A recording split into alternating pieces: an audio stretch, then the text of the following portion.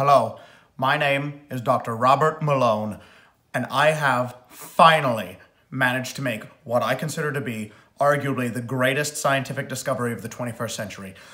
Okay, now, what I have managed to do is make a genetic mutation into an eagle, creating a subspecies of eagle that I don't even know how to put it into words. I it makes the eagle super dry.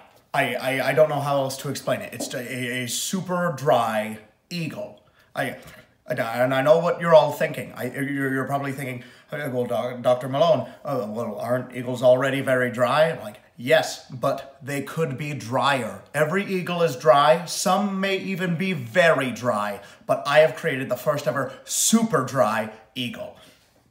What this means is not only is it dry in its natural state, but it has less oil on its feathers, uh, almost virtually zero saliva or moisture on its eyes, yet still it is able to eat. It is able to make sound, it is able to see, it is able to fly. This creature is so dry that I do firmly believe that if it were to dive into water for, say, to hunt a fish, I firmly believe that there would be a small rim of air between it and the water. It is that dry. It is super dry.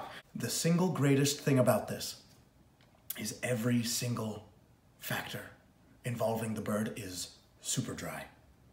And I do mean every single one. That is right.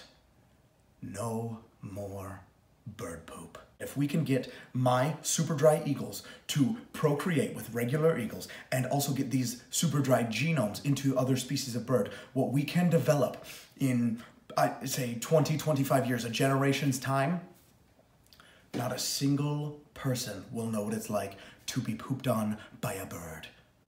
I mean, could you imagine? Could you even begin to fathom it's been happening for generations, so much so to the point where people make up the fact that it's good luck to be pooped on by a bird. False. It is bad luck. That is a very unfortunate thing to happen to somebody. But not anymore because I, Dr. Robert Malone, have figured out a way to cure it. I have cured bird poop.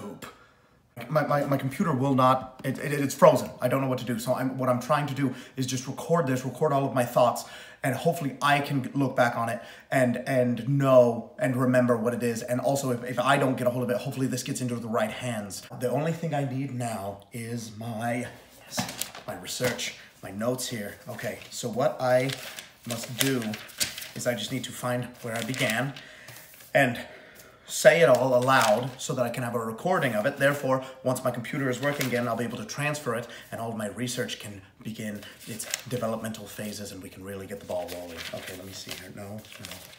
Yes, yes, okay, excellent. Okay, here we go. I can only hope that I'm able to say all of this and get all of this down on the video before my phone battery dies.